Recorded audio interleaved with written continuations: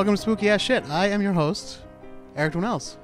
And with me tonight, returning once again, for the first time since our trip to Ponyhenge, Brian Toney. Hey guys, Happy New Year. Yeah, that trip took a lot out of me. That's why it took so long to Yeah. get back. I think it did. I think it changed you. Drained a lot of my sacred energy. Yeah. Ponyhenge and the Wayside Inn. Actually, you know what probably drained you? Uh, can't wait for this.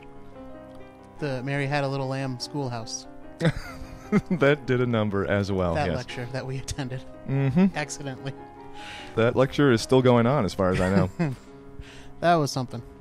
Um, Brian, we're not here today, today to talk about haunted inns okay. or ponies in a circle Okay. or even little lambs. Okay. We're here well, I'm- tonight to talk I'm gonna about. go. Well, we're here tonight to talk about something that's called the most haunted house in England. All right. Uh, it's like world's best hamburgers. they just have a sign: most haunted house. Yeah, Come get some. there is a little catch though. Oh. It's the most haunted house in England, but it doesn't stand anymore. okay. Well. All right. I, listen, I'm just telling you I have a what lot they of say. thoughts. All right. It's what they say.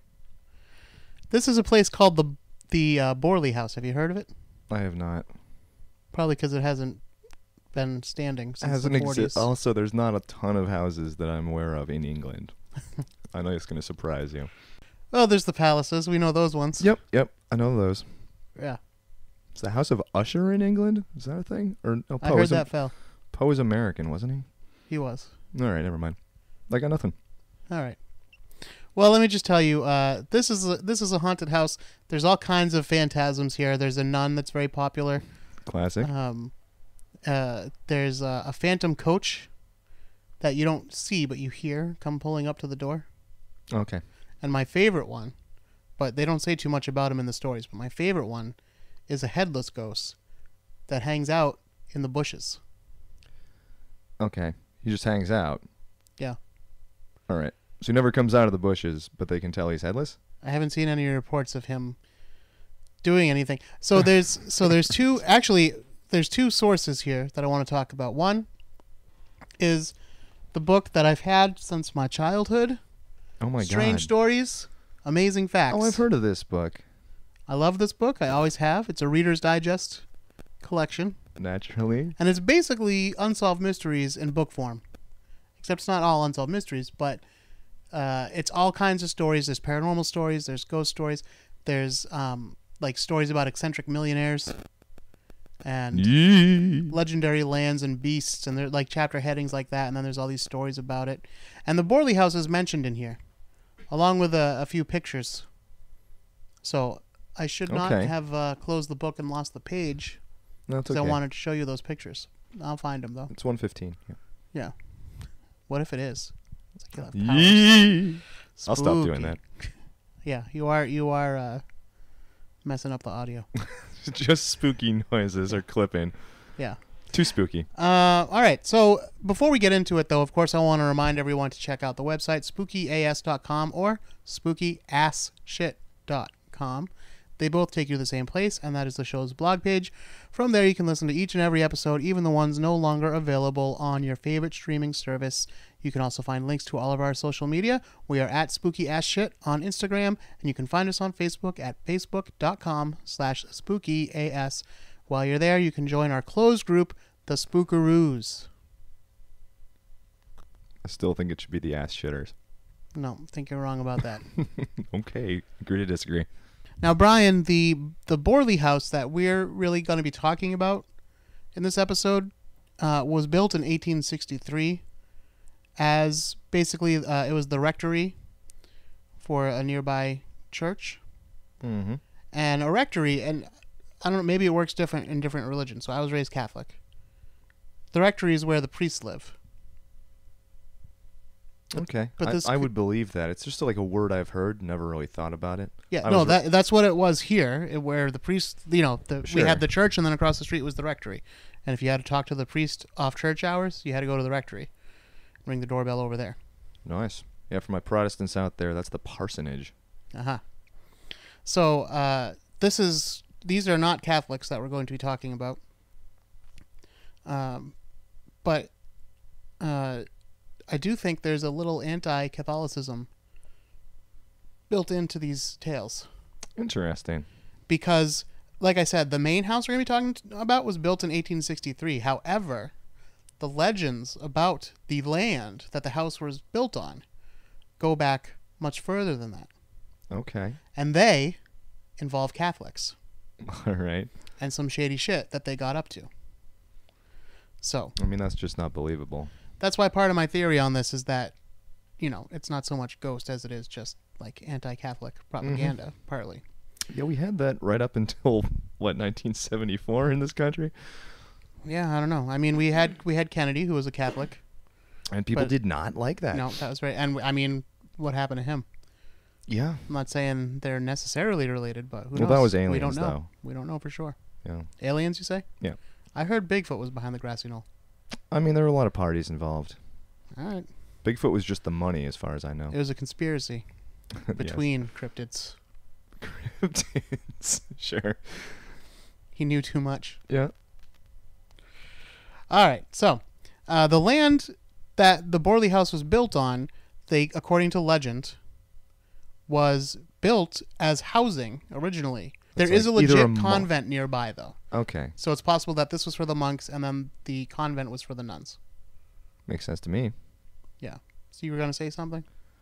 No, I was trying to make a clumsy portmanteau of monastery and convent, but I'm not going to try. All right. Now there's a couple uh, of love legends, which I know you're a fan of, I love me a good love legend. Yeah. associated with this land. Is it anti-Catholic? Yes, it is. okay, great. Let's go. So legend number one: there was a Catholic monk living in the land who uh, fell in love with a nun. Yeah, they're not supposed to do that, huh? They are not supposed to do that. Now, other religions, you can be a priest and you can be married and you can have relations and that kind of thing. But in Catholicism, even to this day, last I knew anyway, I just- I haven't been to church in many, many, many years, but last I knew, priests are not allowed to get married. I don't know if they really harp on that in church either. Just remember, if you become a nun, no nookie. Yeah. Just in case you were getting any ideas. But anyway, uh, yeah, definitely not supposed to be having an affair. Uh, their affair was discovered, however. So the monk, sensibly enough, what they did was they took him out and they hanged him Sure, on the property. why not? and the nun was walled up while alive in the basement. Okay, classic. Is this the first like version of that story? That's an interesting question. We'll get to it later. Okay. There's a lot of Poe vibes around this. But yeah, now even even like back in the day, because like this was, I mean, 1300s was a while ago, I, but I'll it agree. wasn't like the 500s. You know, it wasn't like Oh God, the 500s. dark ages. You know, uh, it's like I think this seems a little too extreme for the time The 1300s? I don't think so at all, to hang a dude and then wall somebody up alive dude. because they were having an affair. no man, this is like what do we call the Middle Ages? Isn't that like? Uh, am I gonna expose my ignorance of history? What Yeah, it would be that would be like it might technically still be Middle Ages, be very late. late Middle Ages? Yeah. I just think like when was the first printing press? It was like 15 something, right? Don't listen. Let's not I'm just let's saying. not expose both of our limited public school education. Be sure to comment on social media, folks. Yeah, no, but I'm just saying like I don't know. It's I totally could believe that. If you Alright. if you said that happened in like 15 something, I'd be like, yeah, sure, absolutely.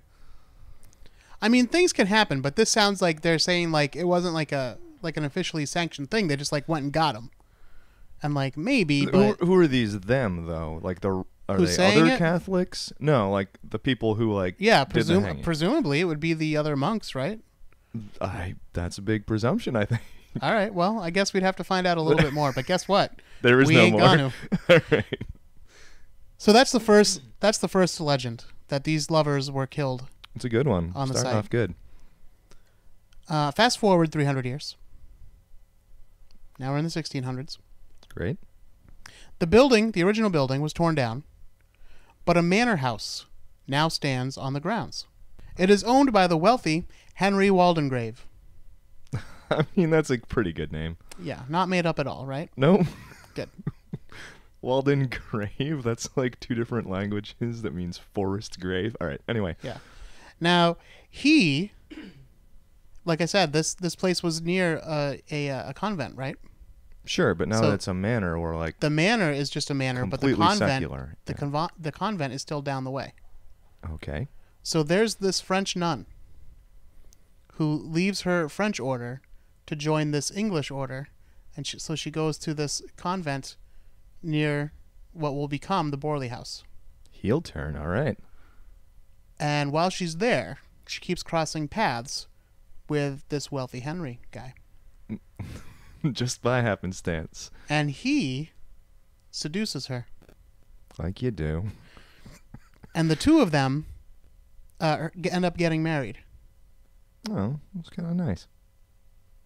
Her name, by the way, I don't know. How would you say this in French? It's Marie. I got that part.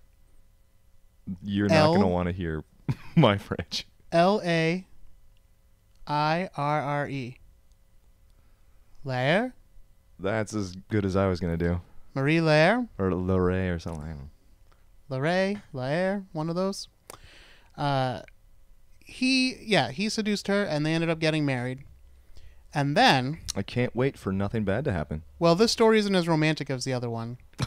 All right. It's just that one night, Henry, in a fit of rage, turned and strangled Marie. I mean, gross. Also, you paused a little after turned. I thought you were like turned into a bat. No, I was just And- pausing because a truck was going by. Oh man. Uh, yeah, and also he buried her body in the basement. okay. Well, walled it up or buried? Just buried it. All right. So basements are definitely not furnished in these days. Okay. No, two dead ladies in the basement Ah, boy. so far.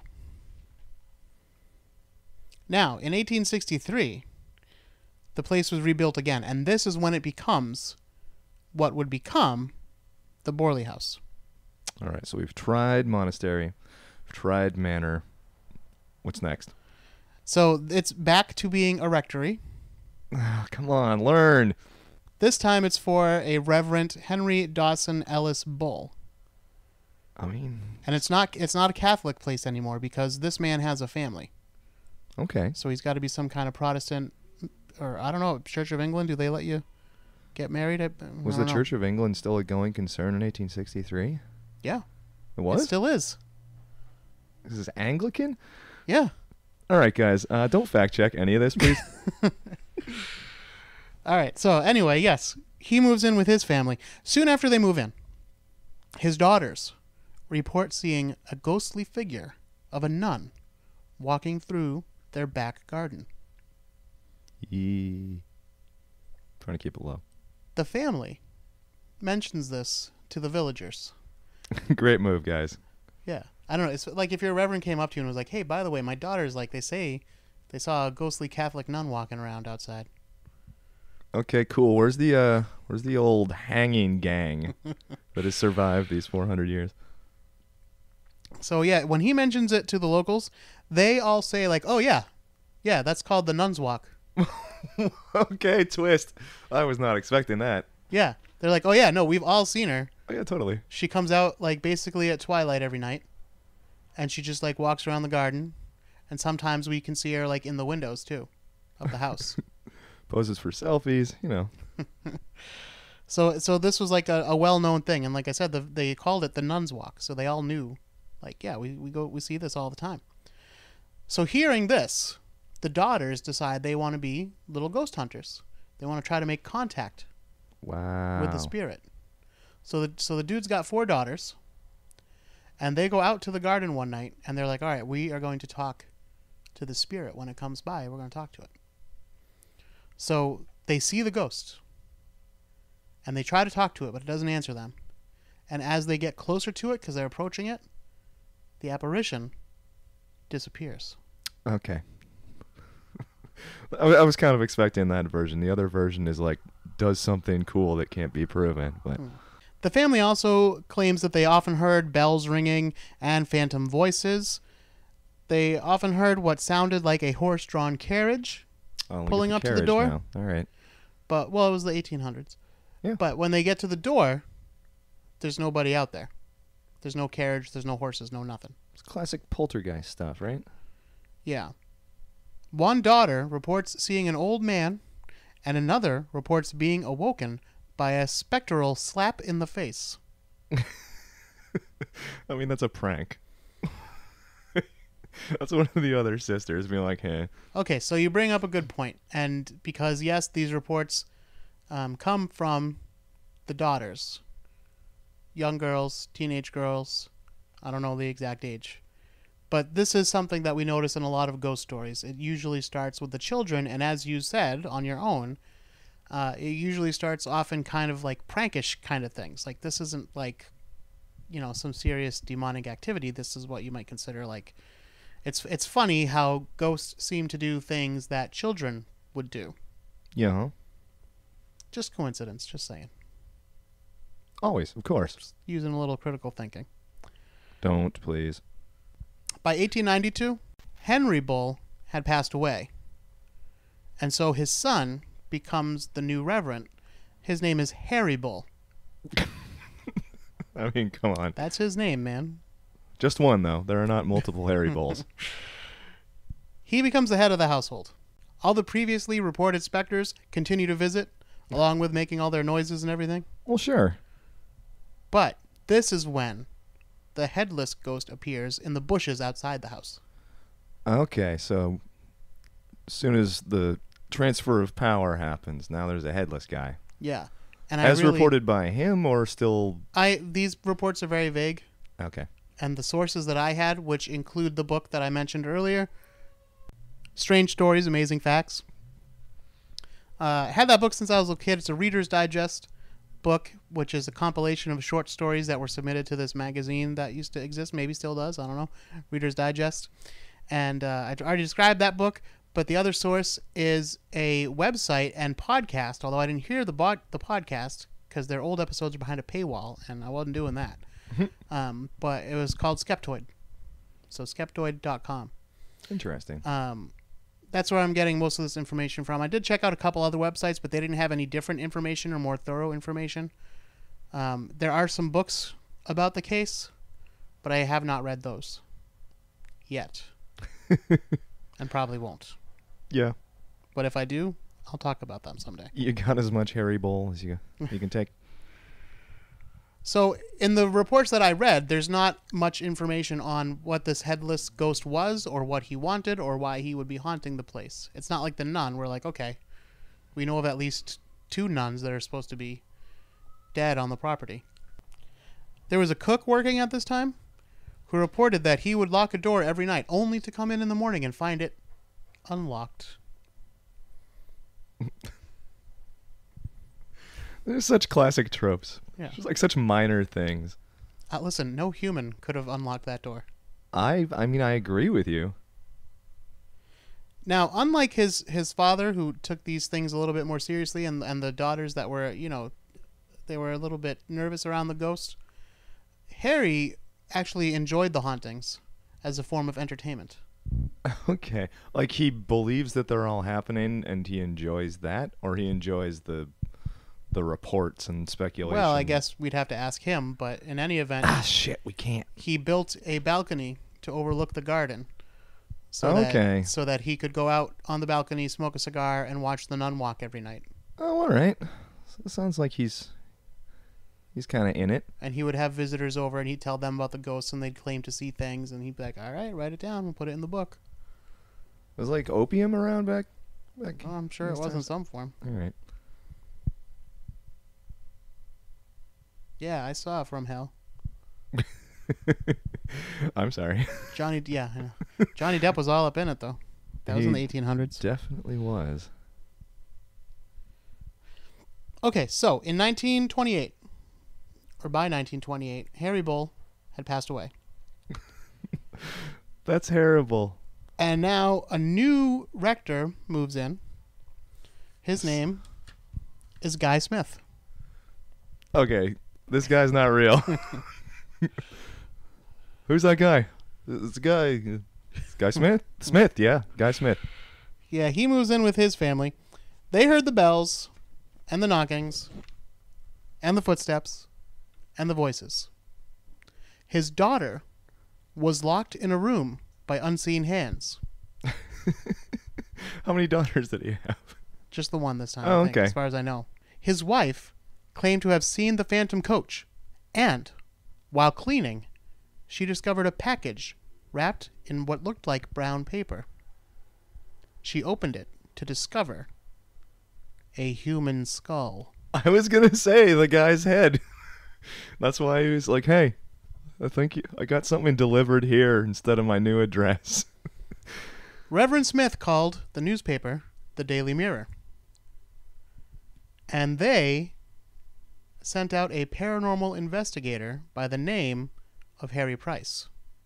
A lot of Harry's up in this. Now I want I don't know for sure. I meant to look this up and I forgot all about it. I believe that the Daily Mirror is what you would call like a tabloid newspaper. It sounds like it. It's not like a I don't know what what the equivalent of like the New York Times or something would be in England, but I'm pretty sure the Daily Mirror is like the National Enquirer or something like that. I've, I've actually. I don't want to get into this. Delete this part. I know I'm going to leave that part. Okay. explaining no, there's, just there's a bunch of stuff that I've read it. on Twitter that's probably disreputable, but All right then. but that it, it used to be like it used to be the paper of record in England or a paper of record in England and has since been turned into a tabloid style daily in the past couple of decades. But Well, that's an could be- interesting question then, because I wonder back in the uh, 20s what the reputation of this paper was. I don't know. But they're sending out a paranormal investigator, although that may or may not have been what he was called at the time. Official per yeah, official profession paranormal investigator. yeah, investigator. Harry Price. Like who pays that guy? As soon as Harry Price enters the house, there are rocks and a vase being thrown at him. Okay. Frightened, the Smith family move out after only having lived there for one year. Okay. So but he's the only one who saw this. Like paranormal investigator walks in the room and he's like, "Yeah, they're throwing shit. You guys got to get out. Maybe I can get a mortgage on it." again, a little bit unclear in the uh, in the reports that I have. In 1930, a reverend by the name of Lionel Algernon Foyster, yes. his wife Marianne, and daughter Adelaide all move in. Okay. At this time, we get all the regular reports the knockings, the phantom voices, the sightings, those kind of things, all the stuff we've been seeing. Sure. But we have something, a little twist added. Okay. What This happened to the, What happened to the headless guy? I feel like we only He's mentioned just chilling. All right. I miss him. This time, messages began to appear written on the walls. Ooh. The messages were often unintelligible scribble, but the name Marianne could clearly be read.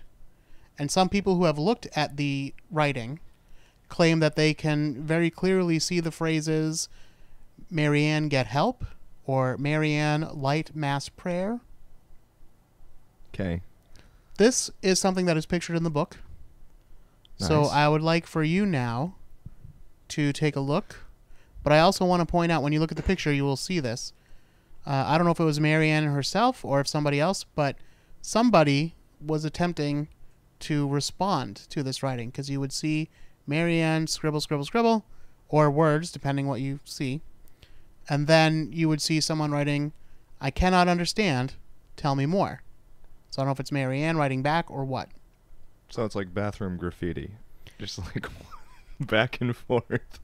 after attempting to get this communication and they just get more kind of scribble writing back except for the name marianne would be written very clearly you can see that in the pictures i'll put them on instagram uh, the the foysters attempted to erase or paint over the words on multiple occasions but they would just keep reappearing. So here you are. Take a look. It's the picture down towards the bottom. What was that? Looks like my cursive. what do you get out of that? But you can but marianne is it very like a- clearly written. Yes, like almost like very suspiciously clear. right In like she was just practicing writing her name on the wall or something. The thing under it looks like it looks like a bunch of stuff like written on top of itself. Like it could be there could be words, but there's like way too many lines. And then Marianne written in what seems like different handwriting very clearly. It basically just looks like someone learning cursive and doing it super badly. Or like learning forgery or something. But you don't you can't make out any words as you look at that. Eh, the second one's no, not really. Like light, light lamppost. no, I got nothing, man. Marianne, light the lamppost. yeah, like you do. You need this back? You can just close it. We're done with it for now. All right. They also claim that they heard voices calling out Marianne's name. Uh, it's reported that she was thrown from her bed and slapped in the face. Ah, the slapper's back. Slap happy ghost. My goodness. Wake up. Now the reverend was like, "Hey, I'm a reverend. I'm gonna perform like sacred Christian rituals and get rid of this ghost." Now we already know he's not Catholic, and Catholics are the one who specialize in this kind Well, I was gonna say, at what at what point in history do religious Christian adjacent, like priest, whatever highest ranking minister, stop being taught like exorcism rites? Do they still get taught that shit today? They do, but it's like a specialized thing. It's not like not everybody learns it. You have to like go to special exorcism classes. Oh my gosh, I can't afford them. Yeah, I that could be the guess. case. yeah, It's like Scientology. They're all like that. Like you have to pay certain levels to extra get, so- for exorcism. Yeah. Uh, so he he so he says, you know what? I'm going to try to get rid of the spirit. I'm going to exorcise these demons. Oh, girl. But it was no help. Oh. The Foysters then said, "Hey, wait a minute. There was a paranormal investigator in here not too long ago. Let's get him back in here and see what he has to say." So this time, Harry Price was like, "Look, I've been there before, and when I walk through the door, they throw stones at my head and vases. So what I want you to do is just keep a log of all the different things that are happening to you, and you know, if you find like significant things, like report them back to me." So Reverend Foyster says okay, and uh, Mr. Price says that Reverend Foyster reported over 2,000 separate incidents of contact with paranormal activity in this house What? between 1930 and 1935. Oh, okay. Well, that's slightly less shocking than if it was like in six months. Yeah. It's like literally taking all his time to. Probably a lot of repeat incidents. There goes the Thursday bell, Yeah. something like that. So they move out, the Foysters, and then the house is abandoned, as far as I can tell, for a little while. Except that Harry Price is like, okay, now the place is abandoned. I'm going to rent it out for a little bit. I'm going to do some proper investigation. Sure. But I don't want people accusing me of doing something shady. Mm, So what I'm going to do, I'm going to run an ad in the newspaper, the Times this time, okay. seeking, quote, people of leisure and intelligence who are intrepid, critical, and unbiased All right. Some To- real science heads. to come and stay in the Borley house with him and just report any paranormal occurrences that may occur while they're there. Over 200 people answered his ad, and out of that group, he selected 40. There were men of science, there were Oxford educated people in the group, Yeah. and then there were some regular Joe Schmoes. What year is this again? Uh, 1937? Yes. Okay. So he gets this group together, and people agree that they did see strange things in the house. Some people say they saw objects move on their own. They heard unexplained noises. One man claims that he was hit with a bar of soap, All right. And one of his scientific people had brought thermometers. And he said that one of his thermometers dipped down 10 degrees in unexpectedly in a matter of seconds. Interesting. So there's always these kind of ghost hunters back then. This would have been a network TV special. Yeah, but in this, so in this construct, they pay him to ghost hunt for him. That's what's going on. I don't know if he charged them to do it or if it was just more like a publicity kind of thing. Okay. But with all this paranormal stuff going on, Price is like, all right, time to break out the Ouija board. Which was invented when? Oh, it was invented by now. Yeah, Okay.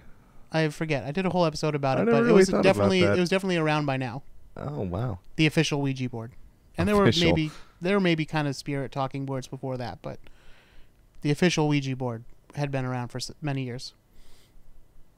The group made contact with two separate spirits. First, the former nun, Marie. Oh, I haven't talked to Marie in a while. She spoke up to tell her story. That's why we know that she lived in this house and was murdered by her husband, who strangled her and buried her in the basement. Yeah, that's where that information comes from. Just now. Yeah. Okay. The seance thing. Uh, she also states that she is doomed to wander around the house and grounds of Borley until her remains are discovered and given a proper Christian burial. That sucks. That's a pretty regular ghost want and Yeah. ask, though. That, you know, a proper burial will help them rest. The next spirit, who identifies himself as Sunex Amures, he chimes up to warn the group that he plans to burn the building down that very night. All right. So, kind of two extremes here. He's got more to say.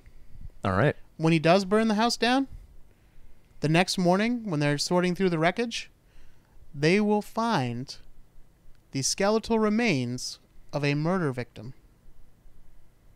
Okay. Well, so two birds there. Hmm. So that night, there was no fire. Nuts. So he was only renting the place. So he's done, Mr. Price. Yeah. He moves on with his life. But about a year later, the Borley house is purchased by a man named Captain W.H. Gregson. Yep. Not a rectory anymore, just a straight up house that you can buy. Is he an actual captain or self-appointed? I'm telling you what the story told me. While unpacking, he accidentally knocked over an oil lamp, setting the house ablaze. Ooh, clumsy ghosts. Now, some townspeople came to, you know, see this house on fire and everything, Because there wasn't much to do. Yeah. And they say that in the windows they could see the nun. She's staying in the house while it burns down. I mean, she's a phantom. I guess so. The house was so damaged that it was beyond repair, and so it was torn down. But Harry Price was like, hey, wait, this is perfect. While the house is being torn down, why don't we excavate the basement and see if we can find any of these bones that these ghosts were talking about? So, is he just like live down the block when he's not living there? He's like, "Hey, what's going on over there? I got a thought, you guys. What if we? God damn it, Harry, you well, again?" that's that's a very good question, and we're going to come back to that in a little bit. Okay. So he says, yeah, you know, I just happened to be down the street. I'm going to come by with some guys. I happen to be down the street. Yeah, I got some gardeners that are going to come and like do the you know digging and everything to Yeah. excavate this place. But I'm also going to bring a pathologist just to uh, you know make sure you know if we do find anything, see what it is. So they dig for like maybe an hour or two, and about four feet underground, they claim they find the remains of a young woman. And the pathologist is right there on site Yeah. to confirm these are the remains of a young woman. And this is 40s at this point, or still yes, 30s? Okay. 1943. All right. I don't know what the state of pathology was back then, but we're getting we're getting there. So they they take these bones, figuring that these must be Marie's, Sure. and they give her a proper Christian burial. was she the first one or the the second She's the one? second one. Oh, okay. So whatever right. happened to the one in the wall, Eh. that story doesn't figure in anymore. We heard it, and that was the end of it. Well, yeah, she might have burned up if she. If she Although, if you there. see a phantom nun, maybe it's the woman who was still actually a nun when she died, as opposed to the woman who hadn't been a nun for some time before she died. It's possible. So maybe those were two separate phantasms.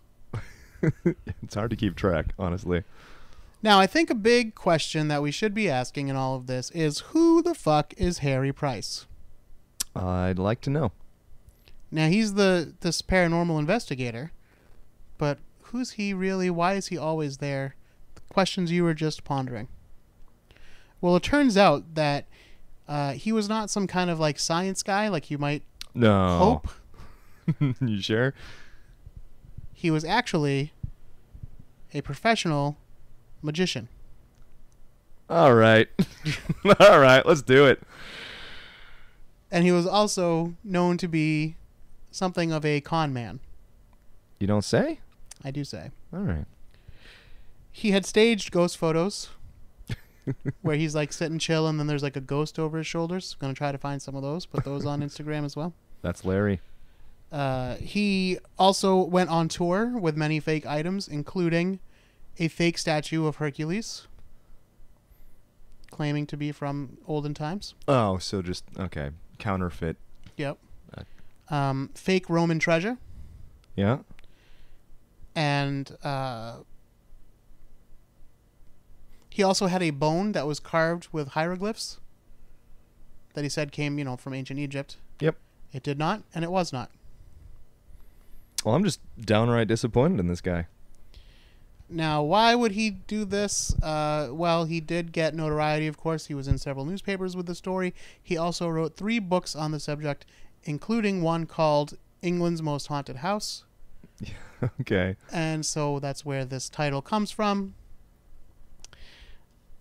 Uh, however, it is important to note that before 1929, when he came to do his first investigation, there were no written documented paranormal activities in this house.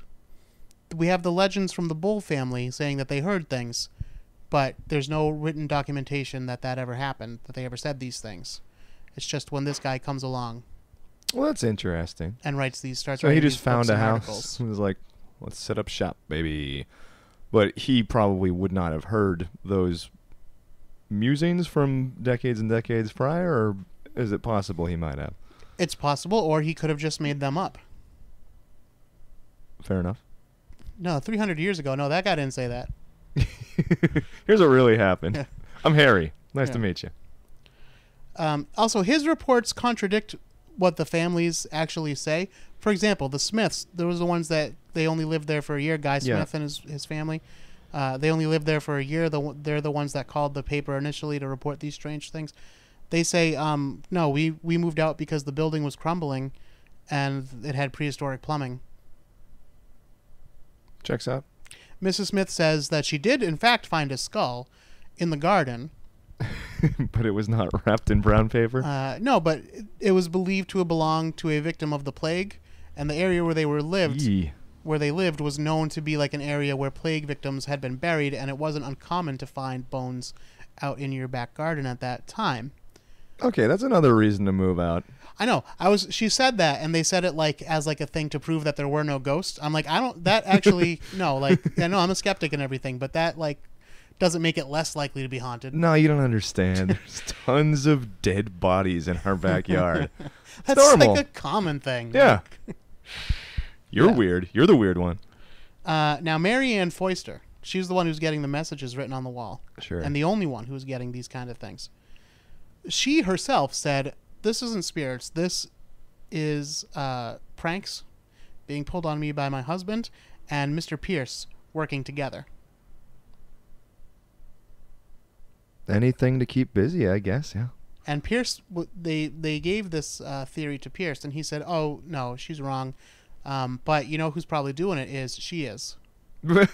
Sounds healthy. either she's doing it like purposely to make a hoax or like her spiritual energy is such that she's doing it and doesn't even know she's doing it like a poltergeist kind of thing like kind of a carrie situation where she's doing it with her mind uncontrollably Writing her own name. yeah That's that's a pretty weird sleeper cell power to have. now the writing on the walls is an interesting point because in d- different reports that i've read they've put it different ways. Some reports say, most of the reports say that the writing was actually on the wall, but other reports say that the writing was not on the wall, it was on scraps of wallpaper. And the reason they used wallpaper was because it just happened to be the handiest paper They they, had it, had. yeah. Like it was long sheets, so you could write messages, and that's what was there. Also, the way the writing appeared is described differently. Some stories make it sound like this writing just appeared on the wall, but other people, other sources refer to it as automatic writing. Automatic writing is something different. Are you familiar with this term? I am absolutely not. automatic writing is like if I was sitting here and scribbling on this page, Yeah. and then I looked down and it said Brian Toney, I don't know something. Insert joke. Um, that would be odd. All work and no play. yeah, Something no, like but like if I just sat down and like started making scribbles, and then it said words, and then like so the idea is that either it's coming from my self conscious or from a spiritual realm, or there's a ghost guiding my hand, or there's a ghost possessing me, or a spirit possessing me, or some other dimension tapping through. That's automatic writing.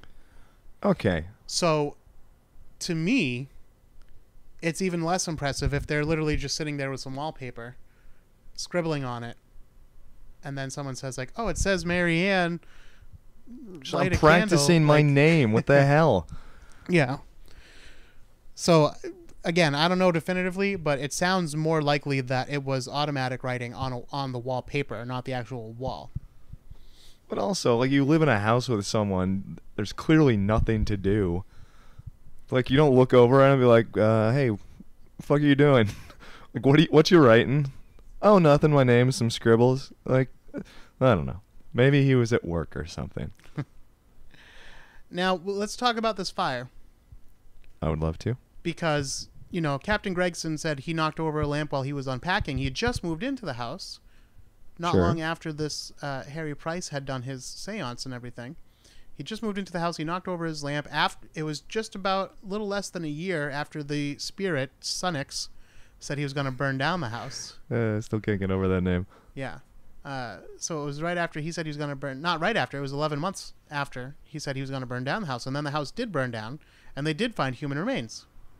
Now, aside from the fact that it took almost a year to happen, that sounds like a pretty accurate statement made by Sunex, the spirit from the Ouija board. sure, sure it does. There's a little catch though. I am so It's surprised. kind of circumstantial, but let's just follow the trail. First of all, when the house caught on fire, Captain Gregson had to call in the insurance agency and say, "Hey, it was an accident. The house caught on fire. Give me my insurance money." Yep. The insurance came and did their investigation, and they said, "This fire was arson. you started this fire on purpose." You dick. so that you could get the insurance money, and that's why you didn't even bother to move your things in, and that's why it happened accidentally the very night you were about to start moving in. The whole house caught on fire. Also, he's the one who had just purchased and gave permission to Mr. Pierce to come and do the excavation excavation in the what would be the uh, basement Yeah. before this Nothing suspicious at all. Let's just Uh-huh. move on. Sorry, I said that wrong.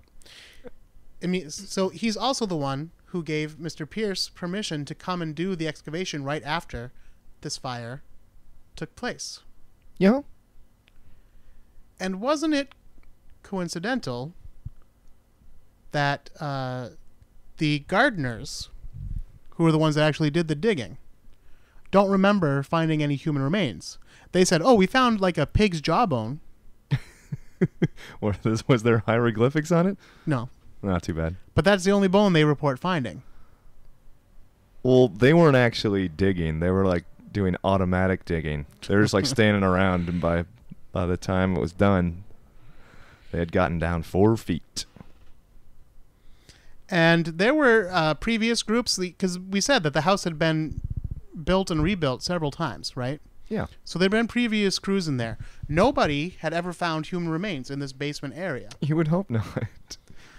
And yet, when Pierce and his gang come, they find remains like within an hour or two, four feet underground, in the exact spot that the house had been built over two or three times. Yep. I don't know what you're. I don't know what you're getting at. And All he checks out for me. He just so happened to have a pathologist and his lawyer on hand when the bones were discovered. Yeah, it's Jerry. Jerry the pathologist. They're buds. That really is the end of the story because after this, of course, the house was gone. I don't know what stands on the grounds now, if there's a house or not. I didn't find anything, um, but I didn't look too hard either. So It's a Wendy's. I did light research, That's fair enough. inspired by the book from my childhood, Strange Stories, Amazing Facts. I'll take it. I mean, you kind of got to respect the long con. Like, he was doing shit with this house for like, what, over 20 years? Yeah, about Just to- years. Yeah. Just to get notoriety and like write books about it? It's I like, bet he all had some other hustles going Oh, too I'm at sure, the same time, but- you know, but You could argue he actually did work for the notoriety in a, a kind of roundabout way. he sounds like a like an early days Warren, like the Warrens, you know. He sounds like the, the the ones that all the Conjuring movies, you know, based on the case files of Ed and Lorraine Warren. I have not seen A Conjuring. Oh, well, that's fine. I am a, I am aware of some of the cultural. The Amityville there. horror, Yeah, sure. and yeah, there's they got their hand in. If basically, if it was paranormal in the past 50 years in America, they have, Oh, okay. they, they so have like, their hand in it somewhere. well, that's interesting. Yeah, I imagine they've made a pretty penny. Yeah, they did back in the day. They're both dead now, but Okay. Yeah. Or are they? they have a museum we should go to. The- It's like in Connecticut or something, so it'd be a day trip, but all right. we could do it. They built a museum. Yeah, Of, it's, like, it's all run of by their- their son now. Oh wow. Okay. Yeah. the Annabelle doll is in there, the real one. that doesn't mean anything to me. Sorry. There's these movies called Annabelle about a killer doll. Oh, I, I think I kind of remember that. Yeah. Killer doll. Yeah. Chucky gonna sue someone. All right, Brian. That's really all I have to say about the Borley house, the most haunted house in England. Okay. What? Were we not gonna get to the the story of the person like bricked up behind a thing? I told you. That's all we hear about it.